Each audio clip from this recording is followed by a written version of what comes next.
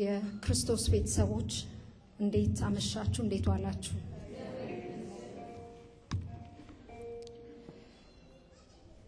ከጸጉሬ ቁጥር ለበዛው ኃጢአቴ እጅጉን ቆሽሾ ሲያድፍ ሰውነቴ በደሌን ቢያጥበው ትንሽ ቢያነጻልኝ አምላኬ ምን ነበር እምባ እንኳን ቢሰጠኝ በድፍረት ያለ እውቀት ፈጣሪን በድዬ ነፍሴ ስትተክዝ በእኩይ ስራዬ ልቤ በሐዘን አብጦ ሊፈነዳ ሲደርስ ምን ነው ጥቂት እንኳን በእንባ ቢተነፍስ?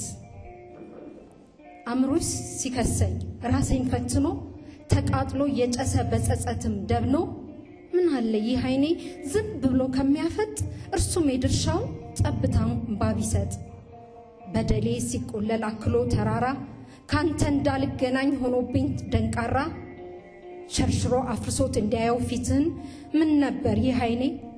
እምባ አፍላቂ ቢሆን ከስጋዊ አገዛዝ ቀንበር በታች ወድቃ በኃጢአት ተቃጥላ ክው ብላ ደርቃ በጸጸት ተቃጥሎ በሲቃ ስትቃትት ምን አለበት?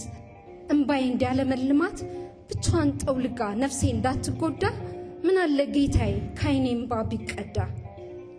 በደሌን ለመሻር በመስቀል ላይ ስትሞት ሰንሰለትን ሰብረ ስትሰጠኝ ነፃነት እኔ ግን ስወድቅ በኃጢአት ስዳክር በንስሐ እምባ ጥፋቴን እንድሽር። በጸጸት ፍም እሳት ነፍሴ ሲለበለብ ምን አለ ለማብረድ?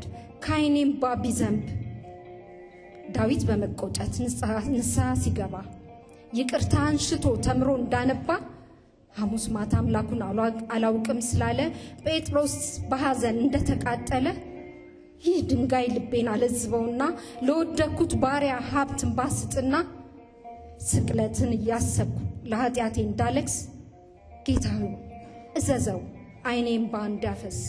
ወስብሐት ለእግዚአብሔር።